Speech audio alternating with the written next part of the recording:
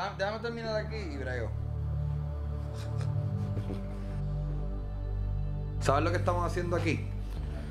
Un blogumental. Me veo bien, me cambio la camisa, me cambio la hoja. Usualmente nosotros grabamos ses- sesiones en un programa que nosotros hacemos en vivo. Lo grabamos allá atrás en la, en la mesa grande de madera. Y siempre lo hemos grabado los miércoles. En vivo, en vivo, en vivo. En vivo, en vivo, en vivo, en vivo, en vivo. vivo, en vivo. Eh, pero por alguna extraña razón, el domingo por la noche, Idel me llama y me dice, mañana, o sea, mañana lunes, vamos a grabar sesión. Y yo, ¿con quién? Coñejo. ¿Qué? Yo llevaba varios meses que hablaba con Ñejo por teléfono nos testeamos así. Y entonces me enteré que él estaba en Puerto Rico. Entonces me, yo, yo le tiré, mira, estoy acá, en, este, ¿estás por acá? Me dijo, sí, llegué ayer. Algo así. Eh, quedamos en janguear esa noche. Eh, Pues ese día el que llegó era un jueves. Era un jueves, iba a ir para el trépate aquí y toda la cuestión. Pues después tenía un show. Y fuimos, el, el- no llegó al trépate aquí, pero después fuimos y jangueamos por la noche. Estuvimos jangueando todo el weekend. Yo he dicho esto anteriormente en los programas, o sea, yo no soy un reggaetonero, yo nunca me caractericé como una persona que escucha eh, como que el género urbano. Pero Ñejo, al igual que. Al igual que Tego, al igual que Calle 13, ocuparon, como que lograron ocupar un espacio especial en la cultura popular que yo lo escuchaba y yo, mamá, y estaba cabrona. Eh, eh, no quiere novio fue una, clase, una, una de las pocas canciones que yo me aprendí por lo menos el coro. Yo no quería perderlo, no sabía cuántas semanas iba a estar Ñejo en Puerto Rico. So, so era como que, mira, ya que tú estás aquí, ya yo había hablado con él el día que habíamos jangueado. Ya que estás aquí, vamos a grabar el, el lunes. Vamos a grabar el lunes. Y me dijo que sí, me dijo que sí. Y, y- y pues por esa razón fue que hicimos un sesiones el lunes, que normalmente nosotros grabamos eh, los miércoles. Yo estaba súper fucking pompeado que, que Ñejo iba a estar en el estudio y que queríamos hacer una entrevista. So, llega el día de la entrevista. Cuando viene un artista al estudio, rápido venimos y lo metemos a la entrevista. Ya nosotros normalmente estamos seteados los miércoles.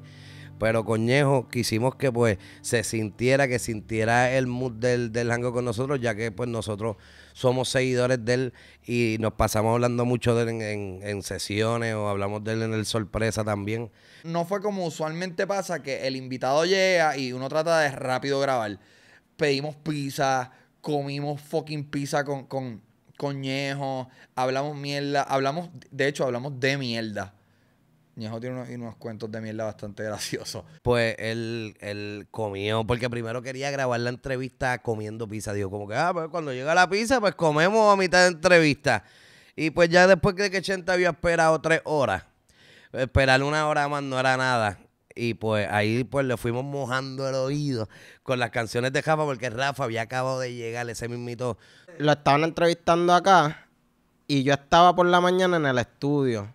Da la casualidad, yo estaba en el estudio con Full Harmony.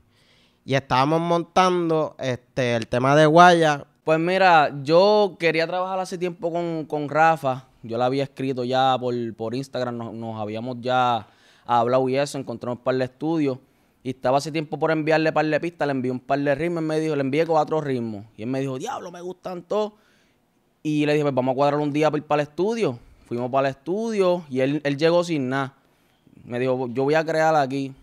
Van, Yo le puse el, el ritmo, él quería el- un danzo que yo, que yo le había enviado. Y así mismo, este, él empezó a tararear y este, yo le dije, diablo, eso, eso está cabrón. Digo, Puedo hablar malo, ¿verdad? Normal. Este, yo le dije, "Acho, eso está cabrón. Que, el- que fue como que el coro así, que guaya, guaya, guaya. Y yo, "Da- eso está flow verano. O sea, tú tenías esa idea desde hace tiempo. No, no, no. Esa, esa idea salió el mismo día que se grabó aquí en el estudio. Esa idea yo la grabé por la mañana. Antes de venir para acá. Y después que la grabé por la mañana, pues vine para acá y ahí fue que se le enseñó porque estaba culeco, porque, en verdad estaba jugueado con el tema. Pues la cuestión es que viene y Rafa llega antes de la entrevista, como antes de la pizza, mientras estamos esperando la pizza, llega Rafa con una canción nueva que había acabado de grabar. Y sabes cómo es Rafa, que Rafa llega con la canción nueva y que y suena desde auxil- desde, desde allá, desde la- cuatro bloques, cuatro bloques allá porque él viene con la canción bien duro, después vino con la canción bien duro, la paró al frente del cajo, Rafa viene y te pone la canción, te la canta, te la baila, pues Rafa llegó con eh, eh, extasiado de felicidad con su nuevo hit. Entonces, Ñejo, ven acá, Ñejo, escúchate esto, boom, y se la pusimos en...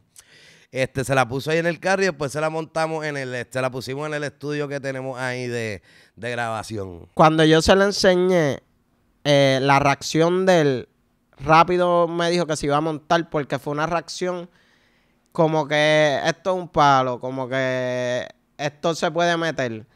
Y es porque el tema es bien catchy y bien fácil. Es un tema bien fácil de aprender.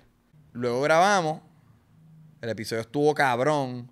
Bueno, la entrevista estuvo espectacular porque él, él vino abierto.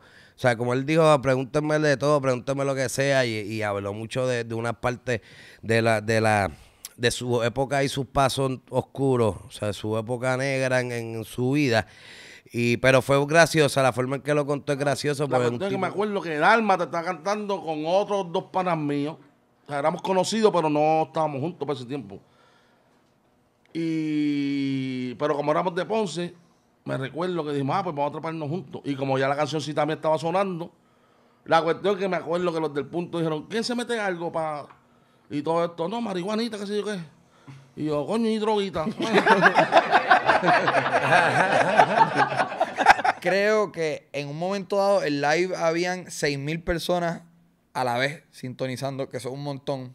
Recuerdo que Aider me llamó, me dijo, Maracal, tienes que caerle al estudio, aquí está Ñejo, está pompeado, quiere hacer algo, Chente lo va a entrevistar, viene un artista para acá también a hacer un mural bien cabrón. Este, yo, pues papi, no se diga más nada, vamos para allá y le caí al estudio y ahí fue que empezó a pasar todo lo que... Sí, porque la cuestión es que mientras estamos en la entrevista, o sea, antes de que empiece la entrevista, que yo le pongo, antes de que él fuera a grabar esa canción de con, Jaf- con Jafa y con Cars, ya le iba a grabar algo aquí sí o sí, o sea, ya nosotros habíamos hablado, ya yo lo estaba trabajando y pues hermano, este es el estudio de nosotros, él llegó aquí y él vino con la mentalidad de hacerle una entrevista y grabar una canción.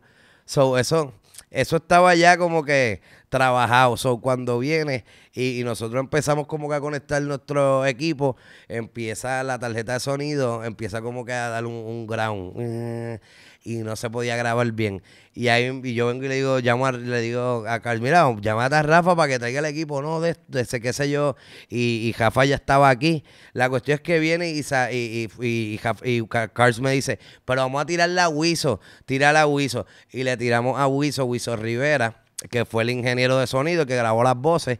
Y, y, y, y Wiso tuvo que traer su micrófono con, con la cosita de, de phone. hacía falta este un equipo extra que no teníamos, que era lo que pues necesitamos para poder grabar unas voces limpias y, y hacer un buen trabajo. Entonces pues yo me activé rápido, llamé a Wiso, lo convencí, Wiso bajó con el micrófono, bajó con todos los equipos necesarios para poder hacer una canción súper buena. Pues Wiso fue el que grabó las voces de todos nosotros. El que la produjo fue Jan este, Full Harmony. Y todo eso era mientras nosotros estamos aquí grabando la entrevista.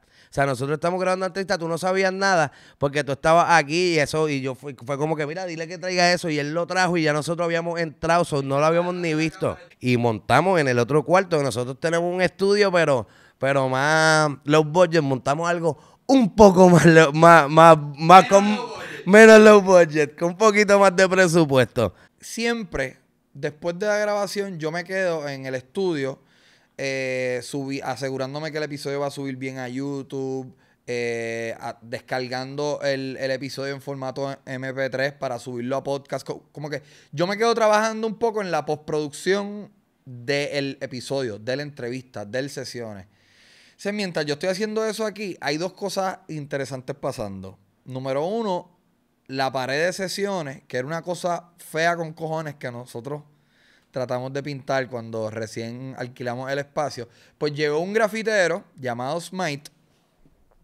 y hizo, ahora mismo se ve en cámara, y hizo el gallo ese y estaba haciendo esa cosa bien cabrona. So, mientras yo estoy trabajando, trabajando en la postproducción, yo me estoy endrogando con, los con los gases de, de lo- del graffiti. Y estoy escuchando la música bien alto. El guaya guaya. Yo estaba escuchando el guaya guaya guaya guaya guaya guaya guaya. Y cuando salgo me doy cuenta que fucking Ñejo está grabando la canción. Y obviamente se sentía como una electricidad cabrona en el estudio. Ah, que la canción se llama Guaya.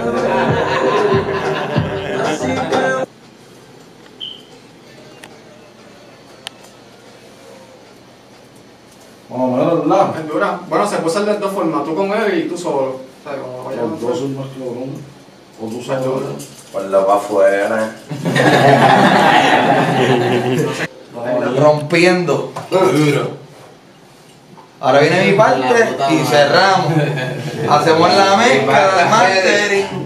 Así de para tu parte. El tema se trata, en verdad, un vacilón de trayendo la esencia de lo que es el perreo, de lo que es el sandungueo, de nuevo, de los viejos tiempos, pero con una pista fresca, nueva, como lo que está sonando ahora, el dancehall, ese vibe.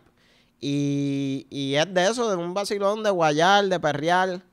Él había escuchado la canción de Jafa y vinimos y le pusimos rápido esa canción y, mano, él empezó a pepitar ahí tranquilo, o sea, solo, pues, vaya, tú vaya, uh, vaya. Era como que él eh, sacando así las, letras, como, uh, vaya, y se reía, esto está bueno, esto está bueno. Boom. Y prácticamente su parte él le improvisó. O sea, él, él- él grababa y después le iba llenando como de letras, pero improvisado también, o sea, como que él... Pues cuando él decide grabar, él estaba sentado. Él estaba sentado como que él empezó a maquinear. Ya cuando pusieron la pista, él empezó a maquinear, ¿verdad? Lo que, lo que iba a escribir.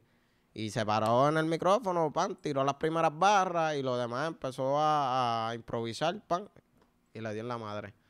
improvisó, o sea, su forma de- de- de grabar fue como improvisado, él no escribió nunca.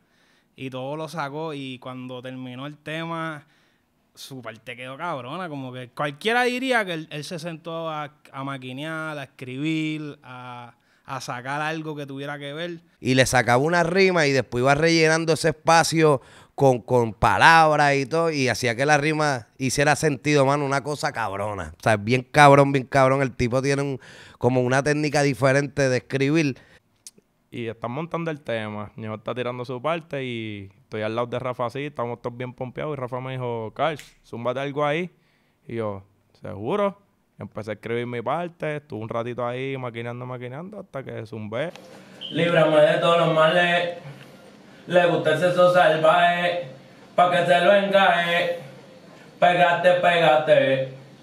Y ahí fue que yo vengo y llamé a Chente y dije, cabrón, tienes que escuchar esto, tienes que escuchar esto, checate, Ñejo grabó y anda para el carajo. Cuando fue Chente para allá fue como que anda, pero si ya esto está grabado, pero esto es lo de esto. Y mano, y ya el resto es un, es un- historia, sabemos que hicimos un éxito muy, muy cabrón. Este, nada, espérenlo pronto. Guaya, Juntañejo y Cars, este, Gallimbo Record. Es una demonio, le gusta musical aquí improvisado, mira. Así que dale, dale, dale, dale.